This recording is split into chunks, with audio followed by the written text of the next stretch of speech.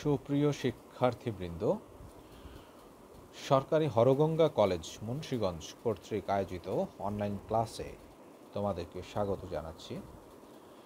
আজকের পাঠ পরিচিতি একাদশ দ্বাদশ শ্রেণির ব্যবসায় সংগঠন ও ব্যবস্থাপনা, প্রথম পত্র, অধ্যায় ছয়, সমবায় সমিতি, প্রথম প্রথম অংশ আজকে আমরা পড়ব। শিক্ষক পরিচিতি মোহাম্মদ শেখ মোস্তাফা রাজীব, প্রভাষক ব্যবস্থাপনা বিভাগ, সরকারি হরগঙ্গা কলেজ, মুন্সীগঞ্জ। আমি আছি তোমাদের সঙ্গে আজকে।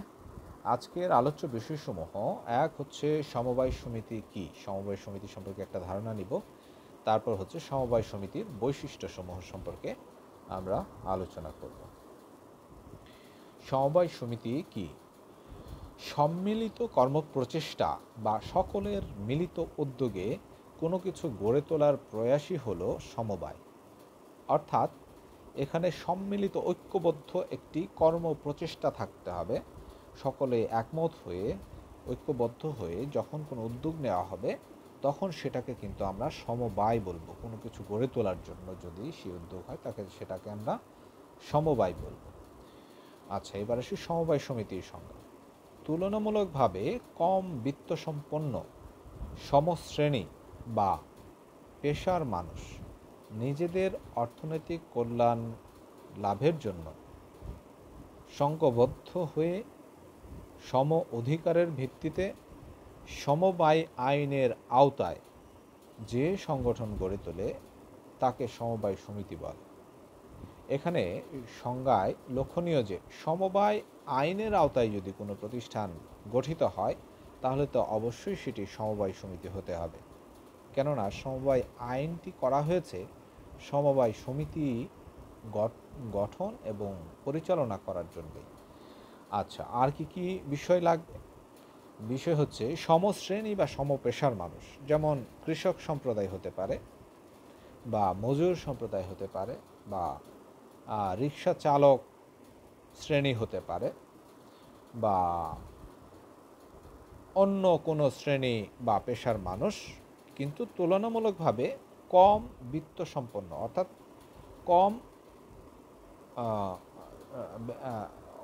অর্থনৈতিকভাবে অপেক্ষাকৃত কম শক্তিশালী, অপেক্ষাকৃত দুর্বল সমাজের মধ্যে যে সমস্ত শ্রেণি পেশার মানুষ আছে, সাধারণত তারাই একটি সমবায় সমিতি গড়ে তোলার জন্য উদ্যোগী হয়ে থাকে।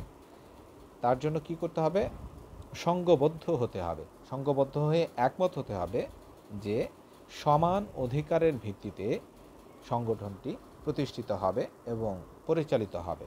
এবং এটি কেন কেন কেন প্রতিষ্ঠিত হয়? অবশ্যই তাদের সেই সদস্যদের নিজেদের অর্থনৈতিক কল্যাণ সাধনের জন্য এই সমবায় সমিতি প্রতিষ্ঠানটি প্রতিষ্ঠিত হয়ে থাকে। এটি একটি পৃথক সত্তা বিশিষ্ট আইনশ্রেষ্ঠ সংগঠন। অর্থাৎ পৃথক সত্তা বিশিষ্ট, যেহেতু আইনের দ্বারা সৃষ্ট একটি সংগঠন, তাহলে এটি অবশ্যই একটি পৃথক সত্তা লাভ করবে, প্রতিষ্ঠা লাভের পর। আচ্ছা এরপর আছে গণতান্ত্রিক উপায়ে পরিচালিত। যেমন, এই সমবায় সমিতি পরিচালনার জন্য যে ব্যবস্থাপনা কমিটি নির্বাচিত হয়, সেটি কিন্তু গণতান্ত্রিক উপায়ে নির্বাচিত হয়ে থাকে। এবং সমবায় সমিতির সকল সিদ্ধান্তসমূহ কিন্তু গণতান্ত্রিক উপায়ে নেওয়া হয়ে থাকে।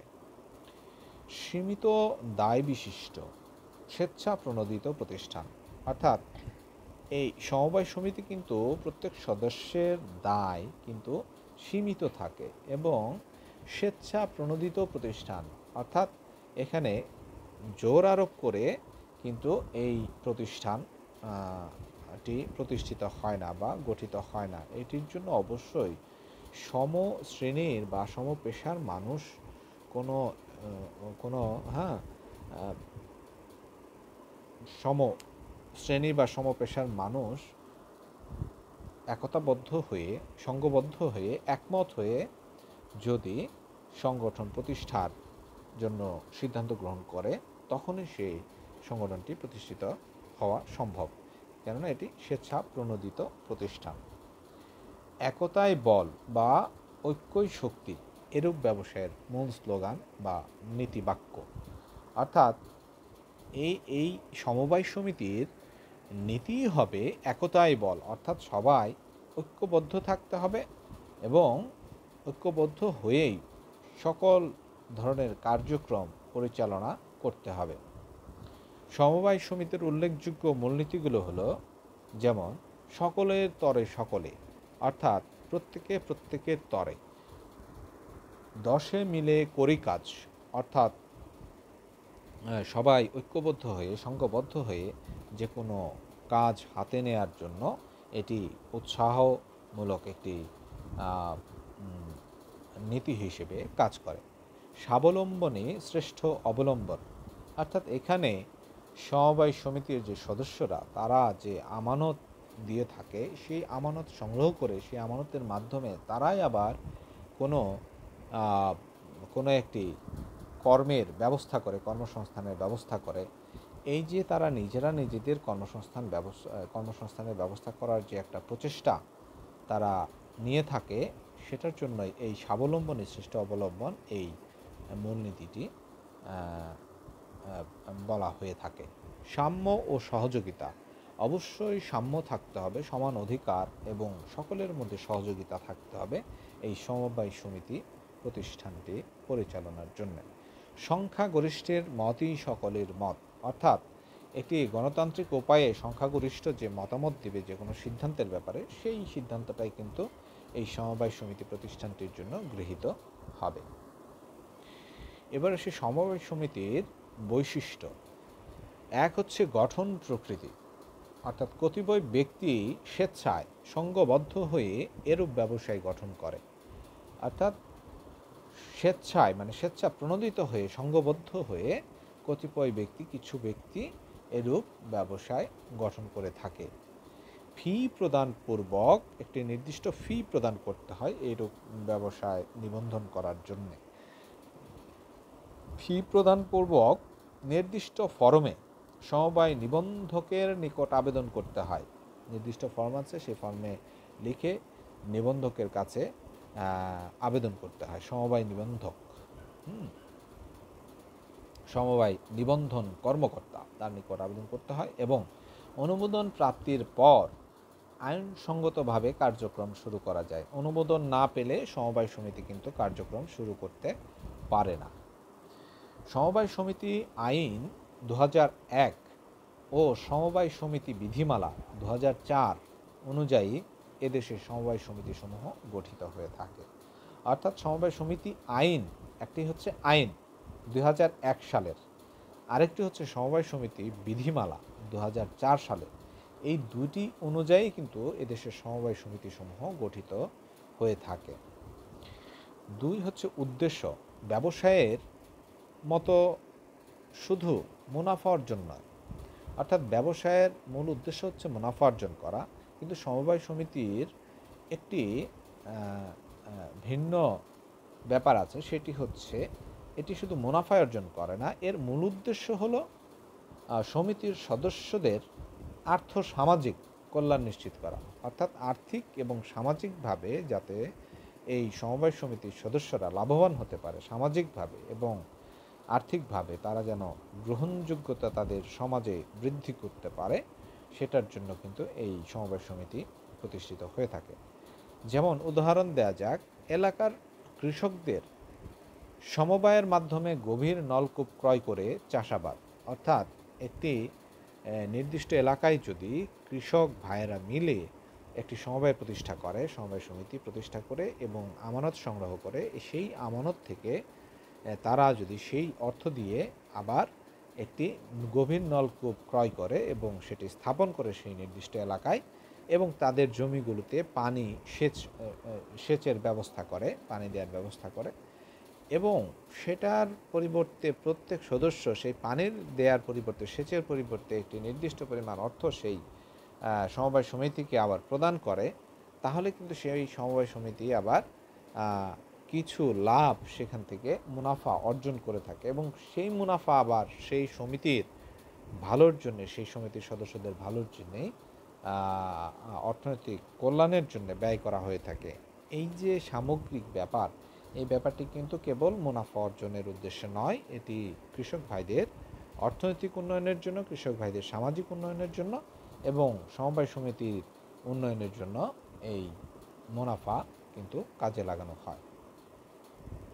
সদস্য সংখ্যা। দু হাজার এক সালে সমবায় সমিতি আইনের ধারা আট অনুযায়ী প্রাথমিক সমবায় সমিতি গঠন করতে হলে কমপক্ষে বিশ জন ব্যক্তি সদস্য হতে হয়।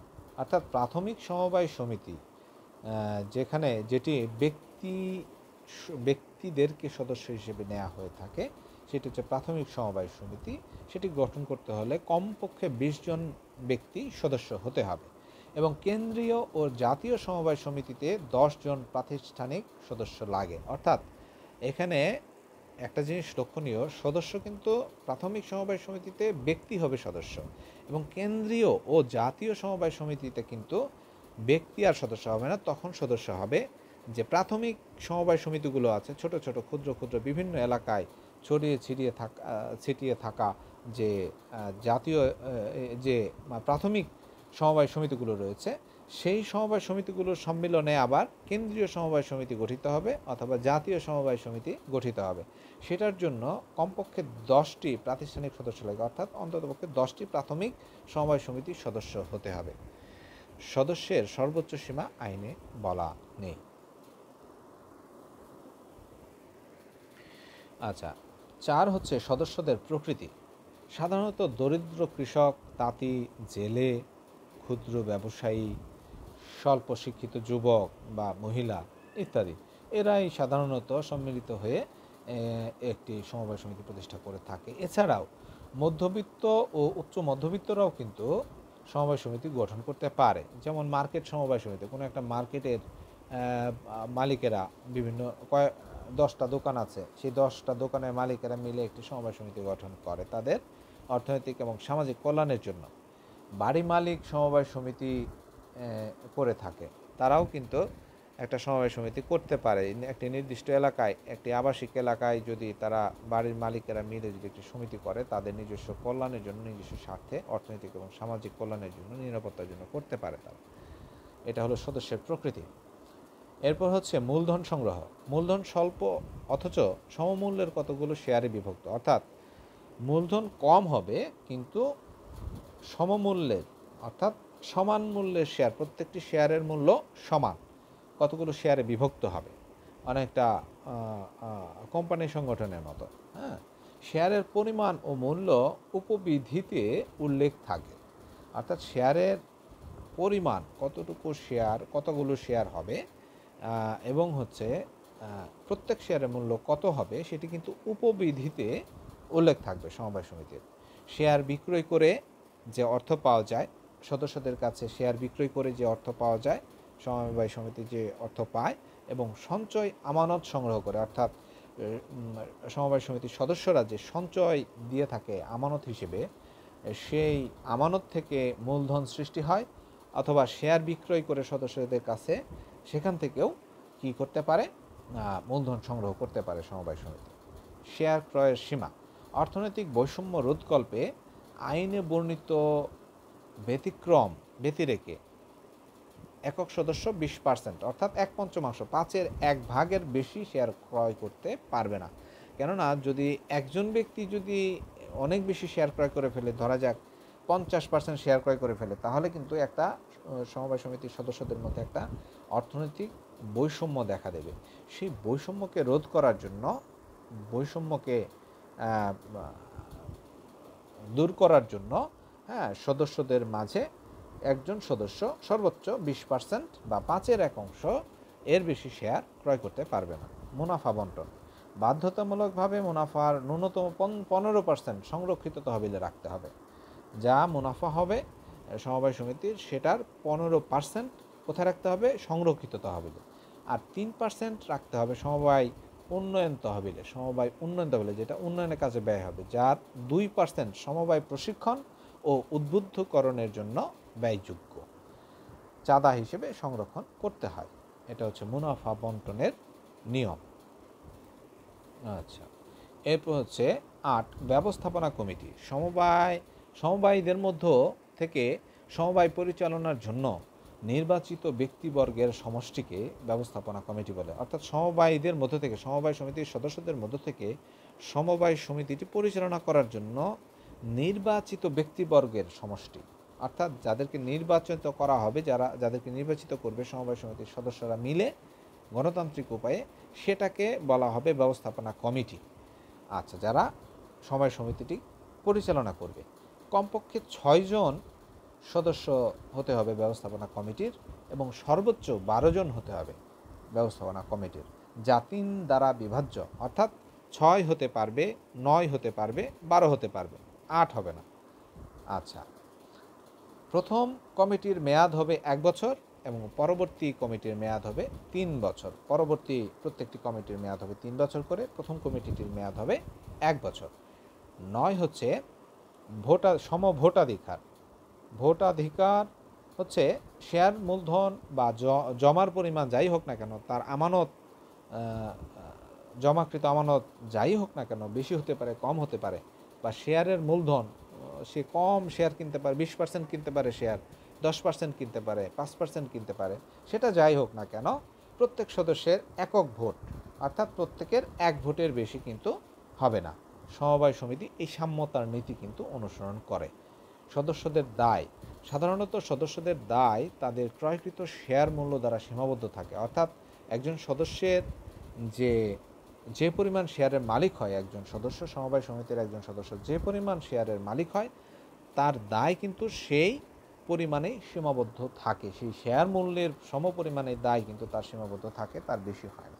তাই সমিতির নামের শেষে সীমিত, অর্থাৎ লিমিটেড শব্দটি ব্যবহার করতে হয়। অবশ্য সীমাহীন দায়সম্পন্ন সমিতিও গঠন করা যায়। সেটা ব্যতিক্রম এক্সেপশন এগারো, সরকারি নিয়ন্ত্রণ ও পৃষ্ঠপোষকতা। যেহেতু আইনসৃষ্ট প্রতিষ্ঠান, এটি একটি আইনসৃষ্ট প্রতিষ্ঠান, সমবায় সমিতি, বিধায় এর উপর সরকারি নিয়ন্ত্রণ থাকে। সরকার নানাভাবে একে নিয়ন্ত্রণ করতে পারে। সরকার এর সভা, অনুষ্ঠান, সভা যখন অনুষ্ঠিত হয়, কমিটি গঠিত হয় সিদ্ধান্ত গ্রহণ করা হয় বিভিন্ন সময়। হ্যাঁ পরিচালনা করা হয় কীভাবে, হিসাব রক্ষণ কীভাবে করা হয়, সেগুলো কিন্তু সরকার তত্ত্বাবধান করে থাকে। আচ্ছা সমবায়ীদের প্রশিক্ষণ প্রদান করে থাকে, সরকার বিভিন্ন সময় প্রশিক্ষণ প্রদান করে থাকে, বিভিন্ন সময় আর্থিক বা অনার্থিক বিভিন্নভাবে সরকার কিন্তু সহযোগিতা করে থাকে। সমবায় সমিতির জন্য সরকারের সহযোগিতার হাত কিন্তু সম্প্রসারিত থাকে। এই ছিল সমবায় সমিতির বৈশিষ্ট্যসমূহ। ধন্যবাদ সবাইকে। আজকে এ পর্যন্তই। আগামী ক্লাসে আমরা আরও বিস্তারিতভাবে সমবায় সমিতি চ্যাপ্টারটা পড়ার চেষ্টা করব। আল্লাহ হাফিজ।